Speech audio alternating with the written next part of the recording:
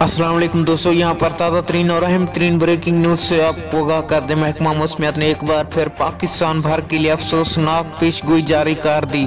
आज रात पाकिस्तान भर में क्या होने वाला है और ख़ास तौर पर कौन से इलाके लपेट में रहेंगे? मुकम्मल तर तफसील से आगाह करूँगा इस छोटी सी वीडियो में, इसलिए आपने इस वीडियो को आखिर तक लाजमी देखते रहना है। लेकिन उससे पहले इस वीडियो को लाइक करके चैनल को सब्सक्राइब और इसके साथ बेलाइकन को ऑल पर क्लिक कर दें। ताकि इस तरह की खबरों का नोटिफिकेशन आपको बर वक्त और सबसे पहले मिल सके। जी हाँ दोस्तों, आपको आगाह कर दें, महकमा मौसमियात ने पाकिस्तान भर के लिए एक और खतरनाक स्मोक की पेश गोई जारी कर दी। ये स्मोक का सिलसिला आज रात पाकिस्तान भर के मुख्तलिफ़ इलाकों में दाखिल होगा, खासतौर पर जनूबी पंजाब और शुमाली पंजाब के बेशतर इलाकों में दाखिल रहेगा।